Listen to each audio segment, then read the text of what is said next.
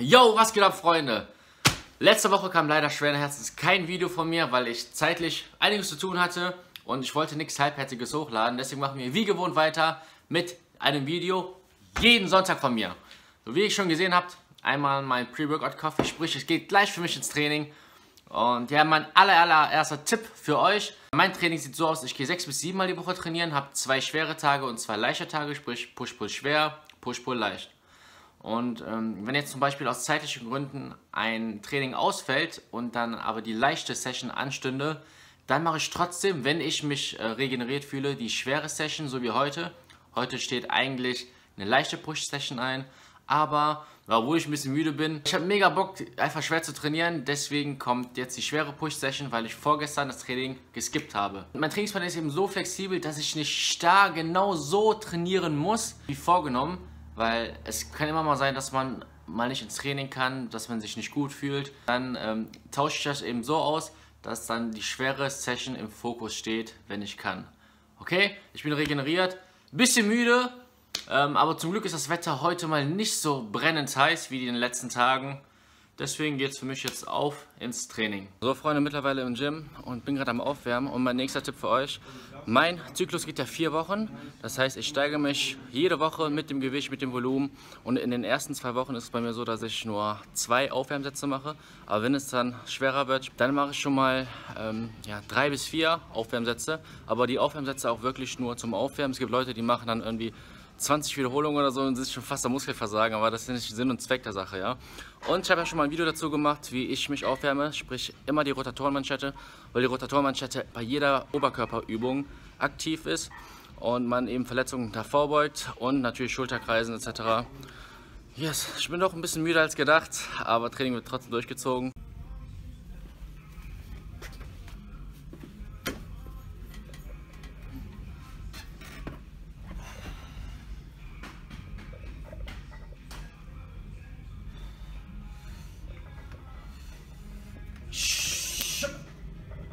Habt ihr den Fail gesehen, Kamera ist einfach umgefallen. Aber der Satz ging wie Butter heute, richtig gut. Letztes Mal habe ich jetzt nur die 90 Kilo bewegt, 4x6 und jetzt bin ich bei 92,5. Ja, ihr habt richtig gehört, 92,5. Denn äh, man muss nicht immer in 5 Kilo Schritten oder 10 Kilo Schritten hochgehen, sondern es reichen auch wirklich die ganz kleinen Schritte. Dann müsst ihr überlegen, es ist jede Wiederholung, wo ihr das mehr an Gewicht bewegt. Plus wenn man jetzt alle Wiederholungen zählt, alle Sätze und über die Wochen, dann reicht auch eine kleine progressive Steigerung vom Gewicht um den Körper ganzheitlich über den Zyklus mehr Volumen zuzuführen. Und das habe ich früher falsch gemacht. Ich dachte immer mehr, immer mehr. Natürlich ist das Ziel, immer mehr Gewicht zu bewegen. Aber die ganz kleinen Schritte, die macht es aus. Da habt ihr nämlich nach oben hin viel mehr Potenzial, um das ganze Volumen auszuschöpfen.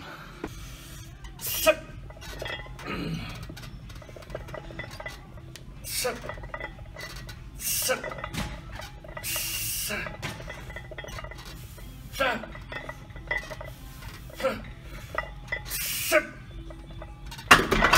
allerletzter Tipp zum Thema Bankdrücken.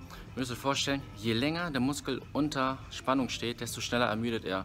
Und deswegen bin ich immer ein Fan davon, relativ schnell und explosiv die Wiederholung auszuführen.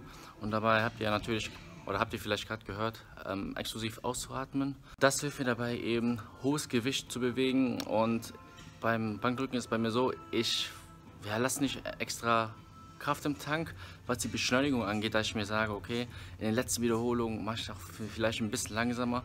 Ich versuche jede Wiederholung explosiv und so schnell wie möglich auszuführen, um eben die Last zu bewegen. Aber jetzt muss ich wirklich mit meinem Training weitermachen. Wir sehen uns später.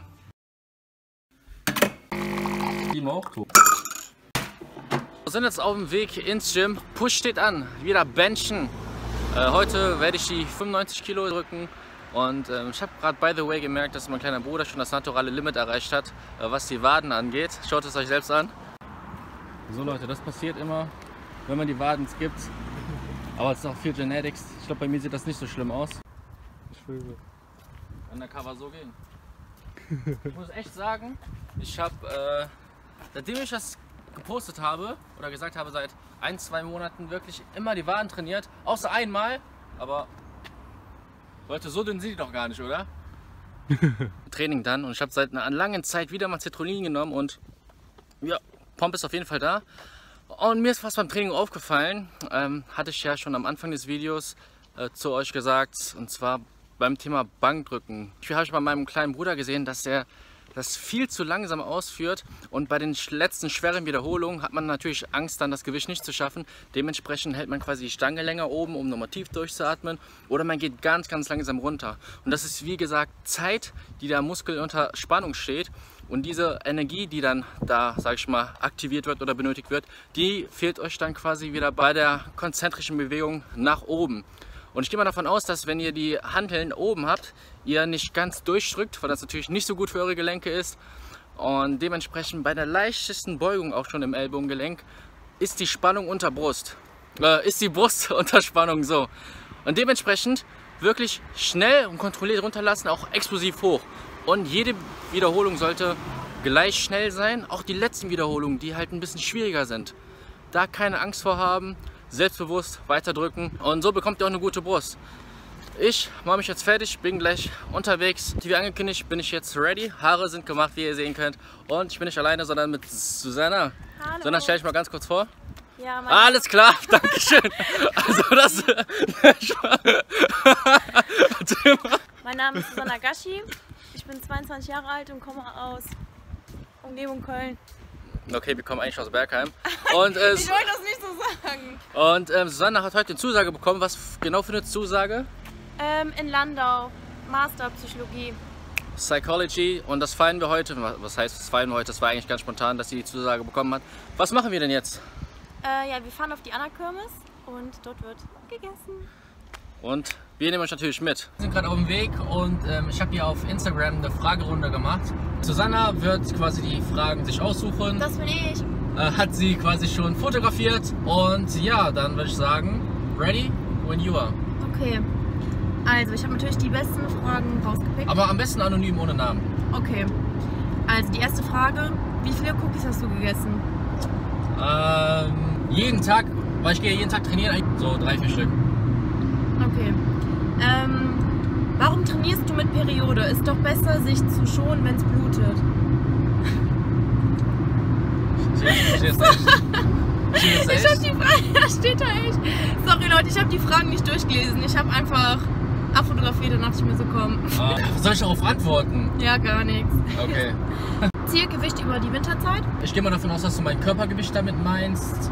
Ähm, also mein, ich habe jetzt kein Zielgewicht, sondern einfach nur, dass ich relativ lean Muskeln aufbaue.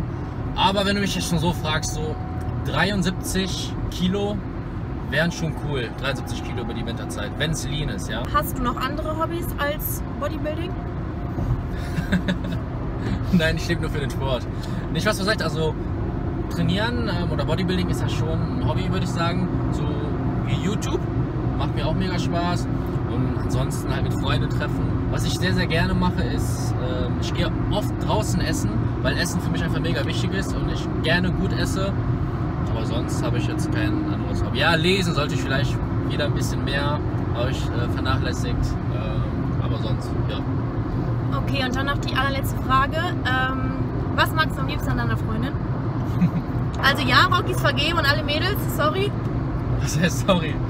Ich mag die Augen, die sind schön klar braun.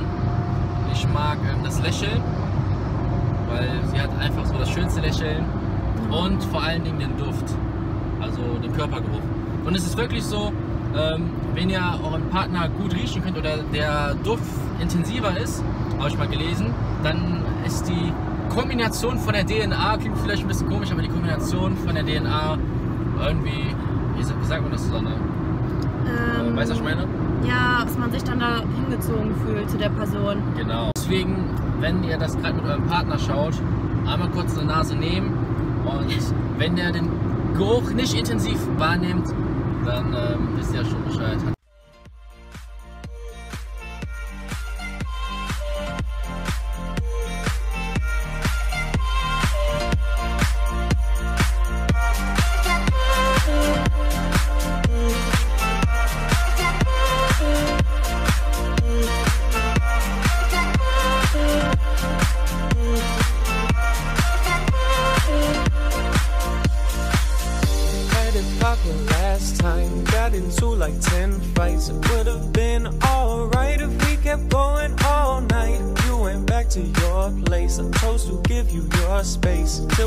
Till the next day it came and we could go and do the same thing.